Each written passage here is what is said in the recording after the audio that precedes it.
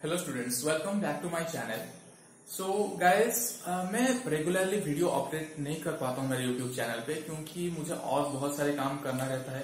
तो आपको एक रिक्वेस्ट है कि आपको कभी भी कुछ भी डाउट आ रहा है during your text book reading so आप जस्ट कमेंट सेक्शन में बता सकते हैं। मैं within twenty four to forty eight hours मैं उसको सॉल्व करके और एक वीडियो अपलोड कर सकता हूँ। क्योंकि क्या होता है, मैं अभी जैसे पढ़ाने लगूँगा तो फिर मुझे ये चीज़ समझ में नहीं आता है मैं कहाँ से पढ़ाऊं राइट क्योंकि एग्रोनॉमी आपको पता है कि एक भार सब्जेक्ट है तो हमको एक टाइम फ्रेम चाहिए वन मंथ टू मंथ चाहिए कि पूरा एकदम स्टार्टिंग से लेके एंड तक जो सिलेबस में जेआरएफ एसआरएफ और नेट की, उसको कवर करने के लिए। तो अभी वो पॉसिबल नहीं है तो फिर मैं क्या करता हूँ अभी के लिए? रैंडम एक टॉपिक चूज़ करता हूँ, उसके ऊपर मैं लेक्चर दे देता हूँ। तो ये I think it's not a good strategy so what you have to do you just read text books and uh, जो भी आपका दिमाग में कुछ भी समझ में नहीं आ रहा है आपको या फिर uh, कोई भी क्वेश्चन है सवाल है आप कमेंट करके बताइए मैं ट्राई करूँगा उसको। कोई भी प्रॉब्लम हो या फिर कोई कॉन्सेप्ट हो आप बताइए मैं ट्राई करूँगा उसको एक वीडियो अपलोड कर दूँगा उसके नेक्स्ट डे और maybe after two days right so ये चीज़ आपको करना है क्योंकि मैं अभी रेगुलर नहीं हूँ एक महीने बाद में uh, आ जाऊँगा मैं आपको पूरा एकदम कंप्लीट सिलेबस आपके लिए ले आऊँगा यूट्यूब में जो कि जेआरएफ एसआरएफ और नेट के लिए फ़ायदेमंद होगा। राइट सो so, आज कौन सी टॉपिक बात करेंगे?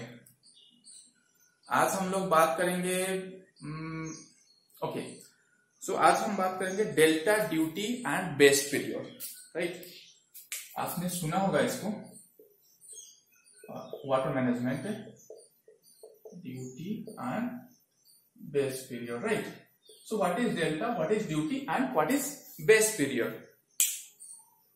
So base period is the period from first irrigation to last irrigation of the crop.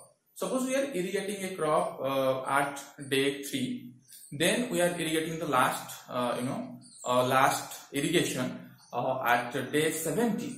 Then the base period is 67, right? And what is base period?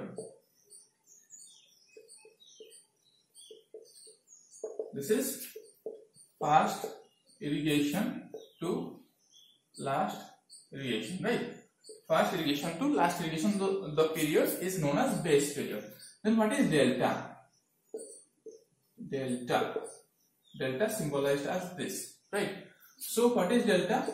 Delta is the centimeter of water As we know in field crops, when we या फिर कोई भी crop हो हम किस unit से major करते हैं वाटर जो हम अप्लाई करते हैं? सेंटीमीटर से राइट सेंटीमीटर और मिलीमीटर से। तो कितना सेंटीमीटर का वाटर हम वो एरिया के लिए उसी क्रॉप के लिए ड्यूरिंग द बेस्ट पीरियड हम अप्लाई किए? Suppose you know suppose 50 centimetre और suppose 1000 centimetre right so these are delta this are known as delta right then duty duty symbolised as D what is duty हम लोग जब भी one hectare cumec water apply करते हैं sorry one cumec apply करते हैं तब वो कितना हेक्टर में? एक हेक्टर का हेक्टर मतलब ten thousand metre square right ten thousand metre square one hectare so जब हम वन क्यूमेक वाटर अप्लाई करते हैं इस सेक्टर में तो इसका कितना पोर्शन उस मतलब इरिगेट कर पाता है। So that is known as duty और इसका, ये तो आपको पता चल गया तो इसका जो मतलब रिलेशन है, वापस में, वो मतलब base period what is the relation between base period delta and duty let's see so what is So delta is equal to 8.64 into base period divided by duty in meter. Right? Or 864 into base period divided by duty in centimeter. Okay. So problems comes uh, like this. Right?